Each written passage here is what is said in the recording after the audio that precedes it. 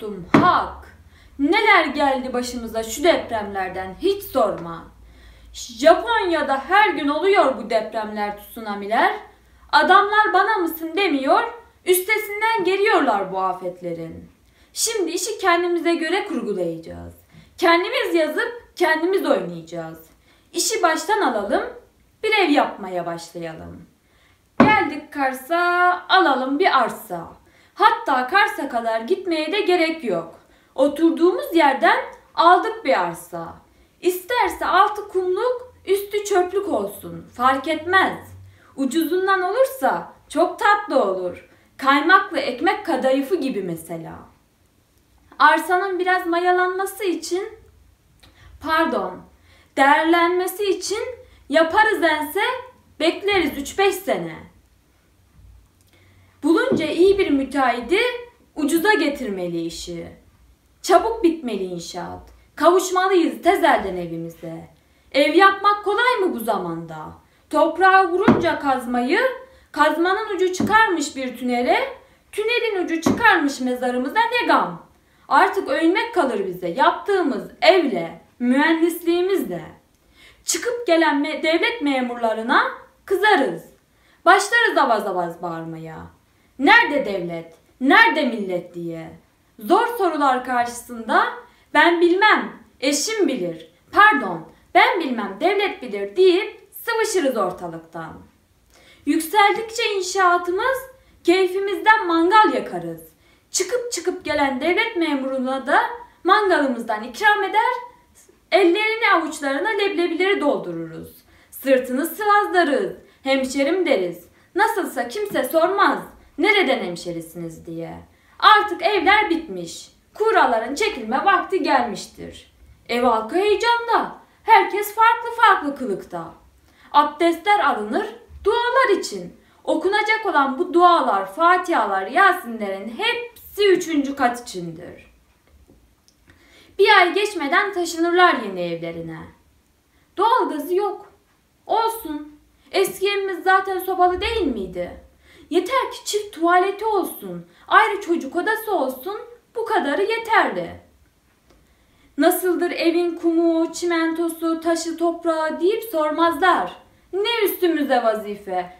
Biz mühendis miyiz yoksa müteahhit mi? Yeter ki can canlı olsun duvarları. Bize bu kadarı, bu kadarı yeterli. Bir hafta geçmeden misafir üstüne misafir gelmeye başlar. Gelen misafirler hayırlı olsun, güle güle oturun, çok güzel olmuş derler. Yörük göçü gide gide düzelir derler. Sormazlar ki bu evin tapusu var mı? Oturma ruhsatı var mı? Hayırlı olsun der, işlerine geçer giderler. Giden misafirlerin ardından hediyelere bakılır tabii ki de. Hafta içi baba gider işine, hafta sonları da ikinci işine. Haydi sen de gel der benimle işine. Soran olursa ev taksitleri ödenecek derler el aleme. Çok şükür 3 yıldır evlerinde oturuyorlardır. Evlerinin yaşıyla küçük kızlarının yaşı denk düşmüştür. Kutlamayı birlikte yapacaklardır. Herkes mutludur bu hazırlıklardan. Erkenden çekilirler odalarına uykularını alabilmek için. 5-10 dakika mıdır, 5-10 saat midir bilinmez. Bir gümbürtü kopar. Aman Allah'ım bu da ne? Neyin nesi? Uyananlar kendilerini tozun toprağın içinde bulmuş. Üçüncü kattaki manzaralı evleri değildi burası. Cehennemin dibi miydi bu yerin altı yoksa? Feryatlar figanlar yükseliyordu her yerden. Bir afat eri yetişti. İnce bir ışıktan seslendi. Korkmayın, ses verin. Hepinizi kurtaracağız dedi. Mavi boncuklu emziği sallanıyordu küçük kızın boynunda. Ambulans sesleri duyuluyor, dronlar uçaklar uçuşuyordu havada. Emzik sallanmaya devam ediyordu küçük kızın boynunda. Yukarıdan sesler geliyordu. Nefes alıyorlar mıydı? Bizi duyuyorlar mıydı diye. Neredeydi? Nerede? Misafirlere çay getirdiği gümüş tepsi. Yoktu. Yaşan canlı duvarlara astığı meyve tabloları onlar da yoktu. Derin, sessiz bir sakinlik vardı ortalıkta. Bir afat eri yetişti. ince bir ışıktan seslendi. tekrardan. Korkmayın dedi. Millet evlatları yardım yarışındaydı. Çocuğun emzi lokumla değil tozla dolmuştu. Annesi, babası, dedesi, ninesi hepsi yardım eli uzatılmasını bekliyordu. Gelenler gidenler geçmiş olsun diyenler hepsi devlet erkanı kişilerdi. Tozlar karışmıştı demirlerine. İnşaat denmişti bu pisliğin adına. Canlar gitmişti çıkarları uğruna vefasızların. Bir afat eri geldi. Ölenlere Allah rahmet eylesin. Herkes evine dağılsın gitsin dedi. Biz buradayız, biz afadız, biz kızılayız. Yaraları biz sararız dedi. Herkes köy meydanından dağıldı gitti evine. Cenazeleri getirdiler köy meydanına. Sıra sıra dizdiler. Hoca sordu. Nasıl bilirdiniz merhumları ya da merhumeleri? El cevap. İyi bilirdik. Hakkınızı helal eder miydiniz? Helal ederiz. Hakkınızı helal eder misiniz? Helal ederiz. Hakkınızı helal eder misiniz? Helal ederiz diye üç kere tekrarlanır bu konuşma. Semadan bir ses gelip de söylemeyecek miydi ey cemaat? Biz hakkımızı helal ederiz etmesine de o musalla taşının üstünde yatanlara sormalı. Onlar ne diyecekti bu işe? Biz helal ettik etmesine. Onlar demeyecek miydi? Allah'ın verdiği bize akıllı biz neden kullanmadık ey cemaat? O sırada boyunlar bükük, başlar öne eğik.